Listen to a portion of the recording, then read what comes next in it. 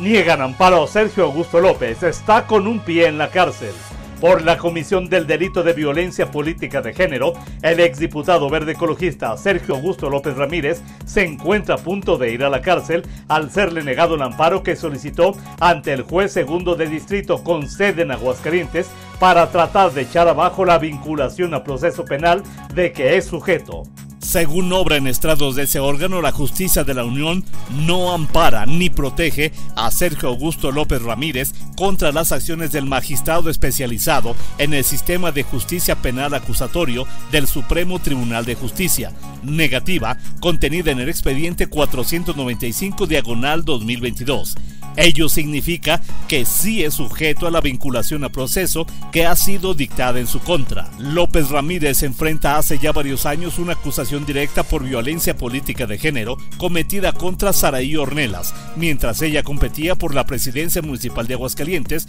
bajo las siglas del Verde Ecologista, y quien lo señala por dirigirse a ella con palabras obscenas y denigrantes, aunado a la falta de apoyo económico para el desarrollo de su campaña electoral. Fue declarado culpable y sancionado en primera instancia por el Tribunal Local Electoral del Estado de Aguascalientes, donde se dio vista a la Fiscalía Especializada en Delitos Electorales, quien inició una carpeta de investigación y logró que un juez penal le vinculara a proceso, que podría derivar pronto en una sentencia de hasta siete años y medio de prisión. Adicionalmente, la Sala Monterrey del Poder Judicial de la Federación ha ratificado la sentencia del Tribunal Local en torno a la responsabilidad en el delito mencionado, ante lo cual Sergio Augusto López Ramírez está a punto de pasar a la historia como el primer político mexicano en pisar la cárcel derivado de una acusación por violencia política de género.